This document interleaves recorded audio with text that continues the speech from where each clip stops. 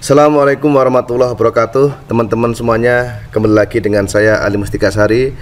Kali ini saya ingin berbagi tentang troubleshooting Terutama untuk Windows 10 Bagi teman-teman yang ingin mengaktifkan uh, Windows 10 nya menjadi super admin atau administrator di akunnya Berikut langkah-langkahnya buat teman-teman yang ingin mengaktifkan uh, Windows 10 nya bisa enable untuk administrator.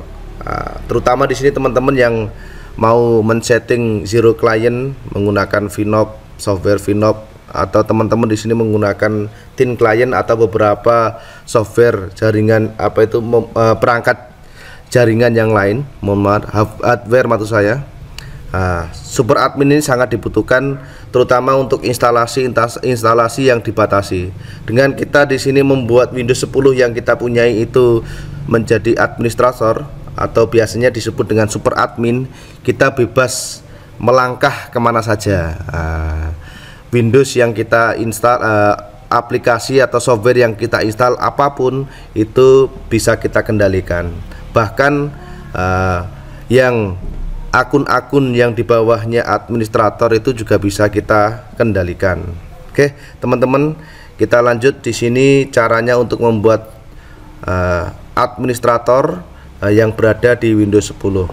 Kalau teman-teman di sini di saat masuk uh, usernya masing-masing, nah, misalnya di sini saya masuk di account setting di sini, teman-teman di sini akan di ditunjukkan bahwa di sini lokal account administrator. Sebenarnya di sini masih ada di atasnya lagi yaitu super administrator.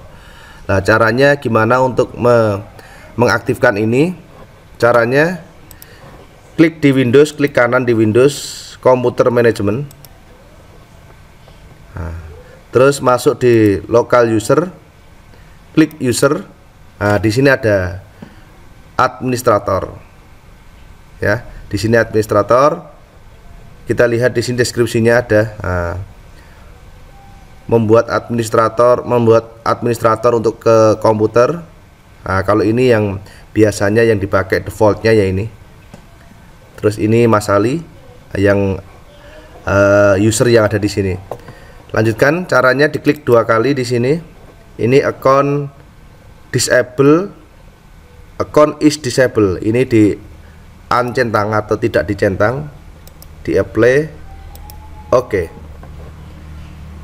nah, saya tutup. Sudah selesai. Di sini klik. Uh, masali ini nanti akan ada tambahan administrator. Kalau sudah seperti ini tandanya kalau ini sudah berhasil. Ya kita coba teman-teman ya.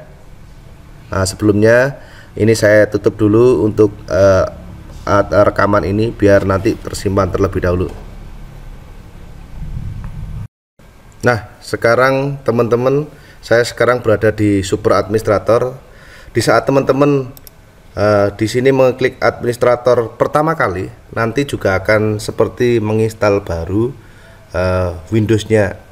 Nanti ada tulisan kata-kata hai dan semacamnya sampai di situ uh, munculnya seperti ini tampilannya ya. Nah, nanti di sini adminnya ada dua. Ini admin yang sebelumnya. Nah, jadi yang di bawahnya administrator, ini yang paling atas super adminnya.